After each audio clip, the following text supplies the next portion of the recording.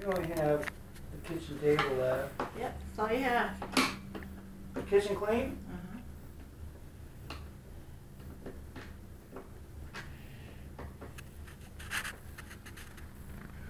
Mhm. Are you exhausted, honey? Yes, I am exhausted. I'm exhausted. Doing that whole kitchen, my gosh. Putting that, that paper's terrible. Peeling. You wanted to buy it. No, not next, next time.